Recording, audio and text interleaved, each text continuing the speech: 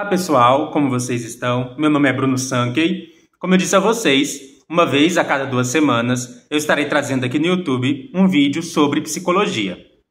Neste vídeo, nós estaremos estudando a fase oral do desenvolvimento psicossexual de acordo com a teoria do Freud. Eu já peço a você que deixe o seu like no vídeo, se inscreva no canal caso ainda não seja inscrito e ative o sininho a fim de receber novas notificações. Quando nós estudamos a psicanálise, é, a gente desconstrói vários mitos né, que existem sobre a psicanálise. Acredito que nesse vídeo nós vamos desconstruir alguns mitos também. O que, que a gente entende da psicanálise? Um conceito fundamental da psicanálise é o conceito de pulsão, que é o impulso que nos move a agir para encontrar uma certa satisfação. A pulsão fundamental que nos move é a pulsão de morte. Morte aqui significa zerar completamente os estados de excitação encontrar uma satisfação plena no qual qualquer estado de incômodo, de insatisfação ou qualquer estado de excitação ele seja satisfeito e você encontre então um caso em que você vai ter zerado, digamos assim, o estado das excitações. Esse tipo de estado pleno, no qual se zera completamente os estados de excitação, é do campo do impossível. Não é possível encontrar esse tipo de satisfação plena que faz com que todos os estados de excitação sejam satisfeitos. Porque isso implicaria morrer completamente, né? E morrer num sentido bem metafórico de encontrar um estado de tranquilidade perfeita, sem qualquer excitação. Não existe esse estado de, excita de, de sem excitação. A gente está sendo excitado, excitação, tudo que chega no nosso corpo, que gera algum incômodo. Então, nosso corpo está recebendo coisas do ambiente a todo momento. Também estamos recebendo excitações internas, então nosso estômago informa que a gente está com fome, o estômago está vazio, está chegando coisas aqui na minha visão, no meu tato, o vento bate na minha pele, o som chega ao meu ouvido. Então é como se tivesse toque, toque, toque, várias coisas chegando na nossa mente, assim, ó, várias coisas. Então, é, zerar esse estado de excitação é impossível, a menos que a gente pudesse não ter nascido. Como esse tipo de satisfação completa da pulsão de morte é impossível, a pulsão de morte se modifica. Ela se modifica em uma pulsão que garante que haja uma pelo menos uma satisfação parcial. Então talvez eu não possa eliminar todas as excitações. Eu não possa matar todas as excitações e zerá-las, mas eu posso matar a fome, eu posso matar a sede, eu posso matar a tesão, então, uma parte da pulsão de morte se modifica em pulsão de vida, que é essa pulsão que é que tem a ver com a satisfação da fome, que tem a ver com a satisfação da sede, que tem a ver com a satisfação do sexo. Essas satisfações elas são parciais, portanto. Na medida em que eu não posso encontrar uma satisfação plena que zere todos os estados de excitação, eu posso ao menos encontrar satisfações parciais. Então, pense agora que o bebê chegou no mundo. A sua pulsão que visa satisfações parciais nós vamos chamar de pulsão sexual. E aqui vai ser importante da gente pensar primeiro o que, que é sexualidade. Sexualidade para o Freud não é sexo. Sexo é uma das formas de viver a sexualidade, ou uma das formas de expressão da sexualidade. O que, que é sexualidade? Sexualidade pode ser definida como excitações que propiciam prazer para além da mera satisfação de uma necessidade fisiológica. Então vamos pensar o seguinte: eu vou comer. Quando eu vou comer, eu satisfaço uma necessidade biológica? Satisfaço? Eu satisfaço a necessidade que aquele alimento me traz. Mas quando eu como, eu também sinto prazer naquilo que eu como. Hum, como é bom comer um pedaço de bolo. Hum, como é bom comer uma torta, uma pizza. Então, o comer, ele envolve mais do que satisfazer uma necessidade fisiológica. Ele envolve também satisfazer uma necessidade psicológica, de satisfação, de prazer. Então, toda vez que a gente tiver uma membrana do corpo, uma, uma área do corpo que requer uma satisfação prazerosa para além de um mero atendimento de uma necessidade biológica ou fisiológica, isso é sexualidade. Sexualidade, portanto, é qualquer prazer que não seja redutível à mera satisfação de uma necessidade fisiológica ou biológica. Então, no ato de comer, tem uma satisfação biológica, mas tem mais do que isso. tem a satisfação prazerosa, por exemplo, de comer um pedaço de bolo. Toda satisfação que está ligada a uma zona do corpo, que não se reduz a uma mera satisfação biológica, que está relacionada a uma membrana do corpo que é estimulada, isso é sexualidade. Então, quando eu como e eu satisfaço o prazer da boca, da membrana, da mucosa da boca, isso é uma satisfação sexual. Quando eu tomo um copo de água e eu satisfaço minha sede, mas para além de uma necessidade da sede, sei lá, a água não tem sabor, não, mas vamos pensar um vinho, um vinho tinto. Um vinho tinto me satisfaz não só minha sede, mas me dá prazer tomar um vinho tinto. Tudo isso é sexualidade. E o sexo, transar, matar o tesão, é uma das formas de encontrar satisfação corpórea.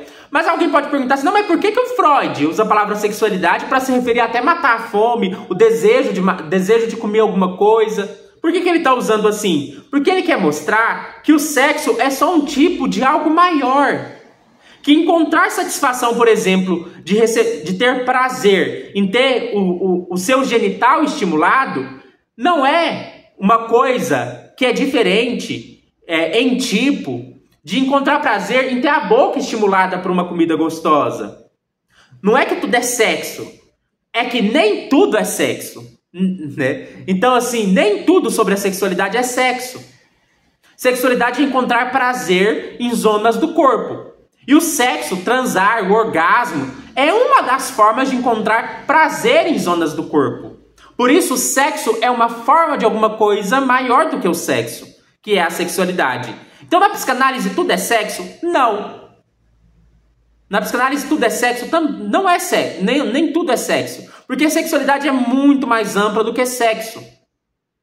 Tudo é sexualidade? Também não, porque como a gente viu, a sexualidade é uma forma modificada de satisfação de uma coisa mais fundamental, que é a pulsão de morte. Então tudo é sexualidade? Também não. A sexualidade é quando eu satisfaço parcialmente as minhas pulsões, porque uma satisfação plena não é possível, porque a sexualidade não satisfaz. Então entenda que a sexualidade é uma forma de encontrar satisfação parcial, já que a pulsão de morte não tem satisfação parcial. Por isso, toda pulsão de vida é pulsão de morte. Porque matar a fome e sentir prazer em comer alguma coisa, sentir prazer em beber alguma coisa, também, tudo isso que é relacionado à conservação da vida, vai para além de uma necessidade fisiológica e envolve também prazeres. E à medida que a gente vai se desenvolvendo psicologicamente na nossa vida, essas satisfações parciais, em épocas e estágios da vida, elas têm uma predominância. Ou seja, existe uma região do corpo que tem predominância. Quer dizer que tem exclusividade? Não. Quer dizer que aquela região do corpo é a região em que predominantemente nós buscamos prazer em uma determinada fase do desenvolvimento. Isso a gente vai chamar de estágios do desenvolvimento libidinal ou de fases do desenvolvimento libidinal. E o que é libido? Né? Libido é a energia derivada da transformação das pulsões sexuais investidas em determinados objetos. Aqui é uma metáfora, a metáfora da energia. Nós temos uma energia sexual, sexual agora no sentido amplo, para incluir prazeres da boca, para incluir prazeres da, da, de outras partes do corpo, o prazer do toque, tudo que está relacionado ao prazer que eu sinto em mucosas do corpo é sexualidade.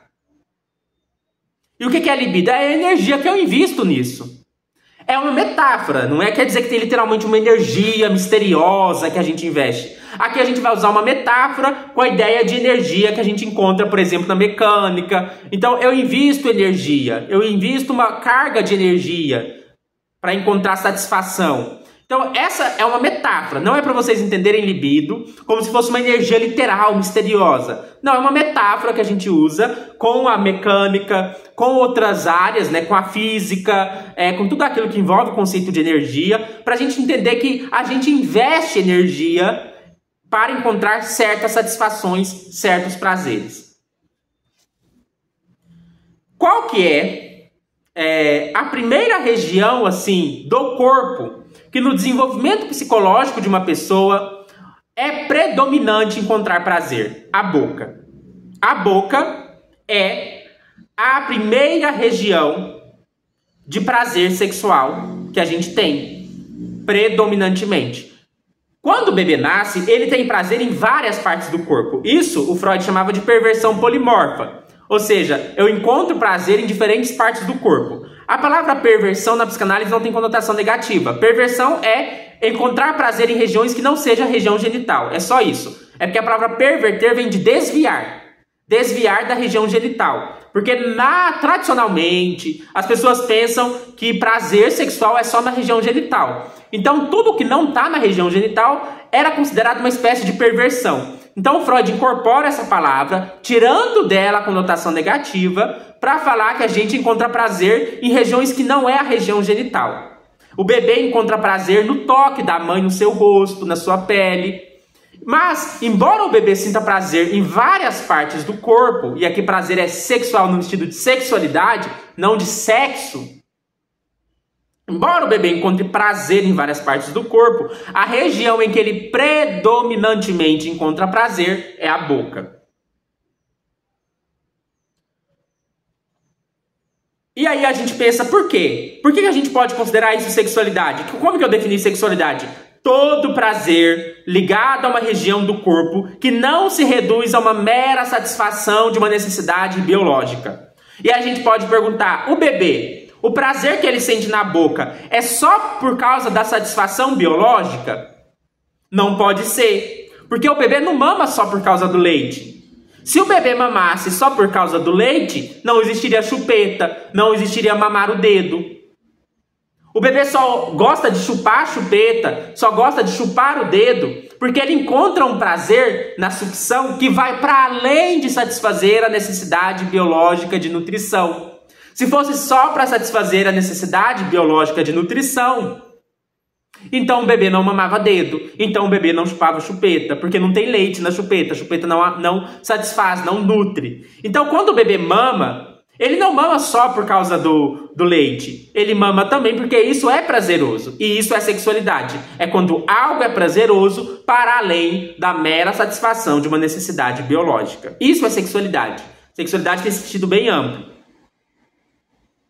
Nós podemos distinguir a fase oral em dois períodos. Ele se sobrepõe a uma distinção mais didática, mas a fase oral se distingue em fase oral precoce e fase oral sádica. A fase oral precoce é quando o bebê começa a mamar. Ele mama, mama, mama. Ele suga. É ligado a sugar. Já a fase oral sádica, sádica vem o quê? Prazer em causar dor. Que é quando o bebê sente prazer em morder o seio.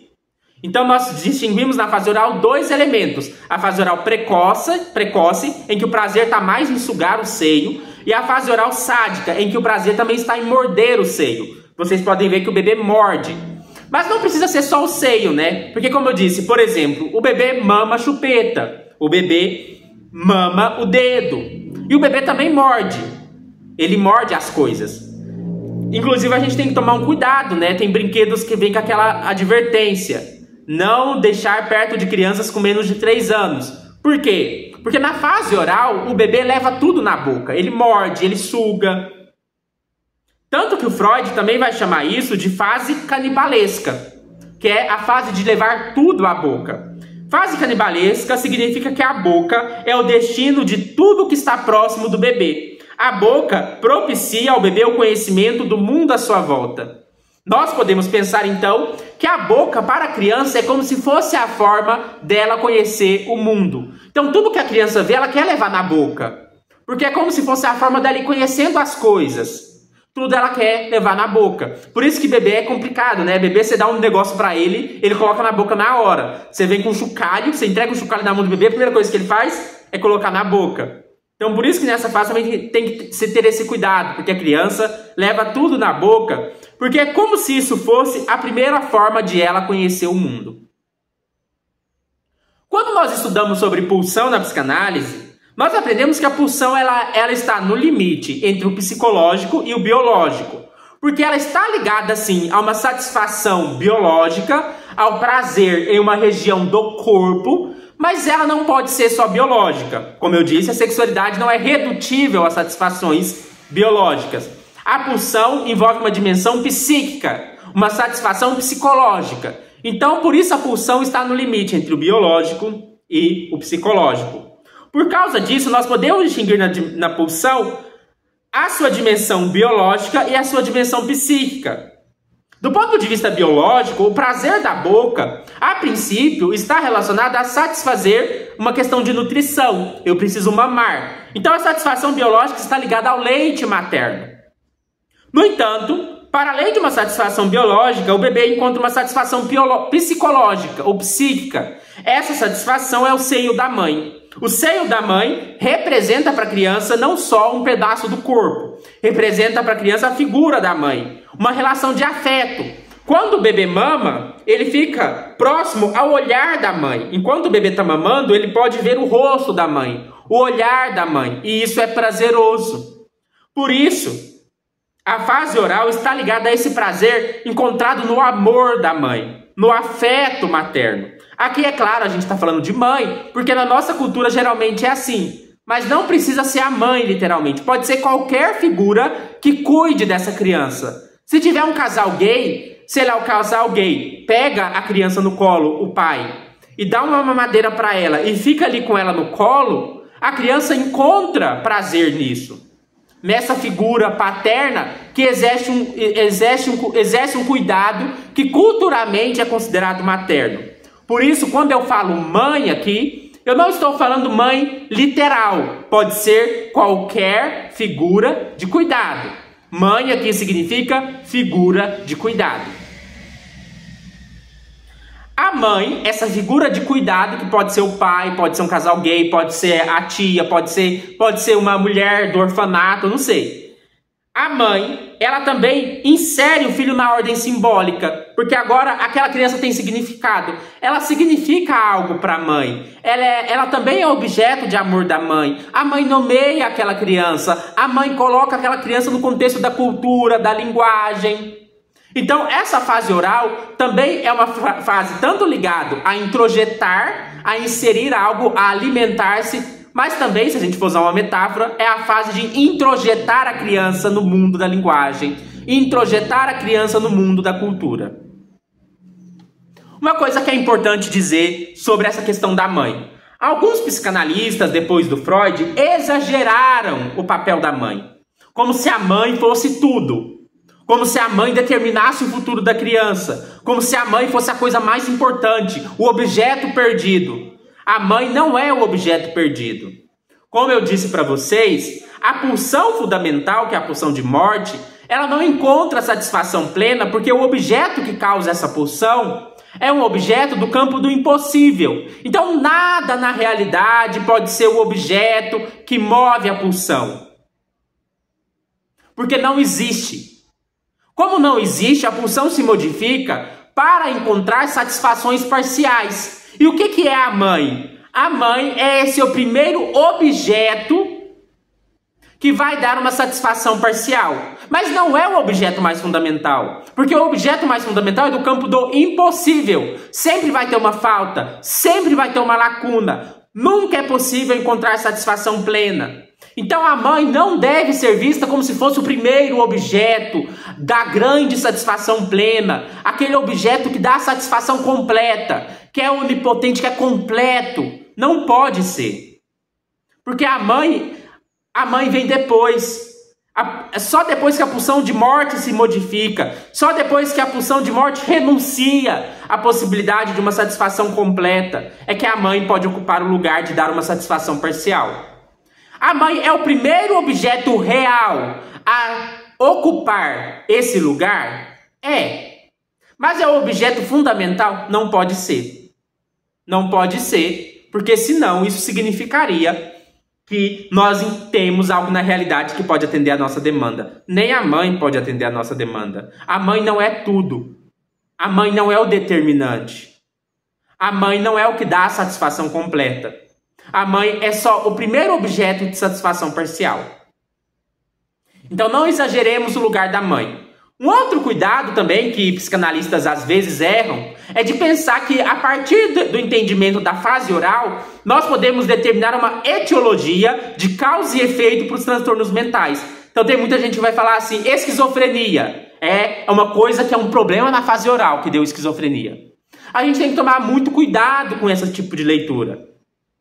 Não podemos estabelecer relações de causa e efeito universais e simplistas. Não é assim, a pessoa tem esquizofrenia, logo teve um problema na fase oral. Não é isso. Não podemos estabelecer essa relação de causa e efeito. Psicanálise é individual. Cada pessoa tem sua história de vida. Se uma pessoa desenvolveu esquizofrenia, pode ser por N motivos. Pode ter fatores genéticos, pode ter fatores ambientais. Mas eu não posso estabelecer uma relação de causa e efeito simplista, do tipo, ah, um problema na fase oral causa esquizofrenia.